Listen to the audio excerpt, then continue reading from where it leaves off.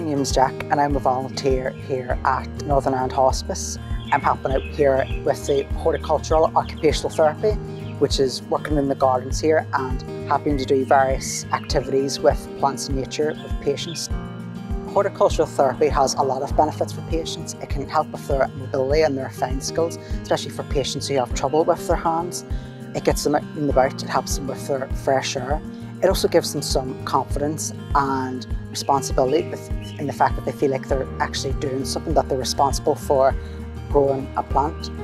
And it also, it also has been known shown to boost their mood and help lift their, their attitudes in terms of their levels of hope. So these are just some of the, sort of the mental benefits as well. And we know from uh, various studies that being out in nature and fresh air and plants have multiple benefits for um, humans in general.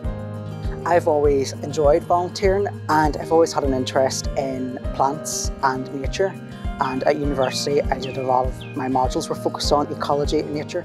So when I heard about this opportunity where I was able to sort of mix the two of them together, I just jumped at it because it was both things that I really enjoyed. And in the future, I'm hoping to become a nurse. So I'm interested in learning more about how various forms of therapies can help benefit patients in their care. I would say that as much as you're giving, you're getting a lot back as well. You know, I definitely gain a lot from my from volunteering. It really does make you feel um, good and just know that you're helping to con contribute in some way. It is very beneficial to your attitude and your mindset as well. And I think it gives me some deeper connections with people and the local community as well.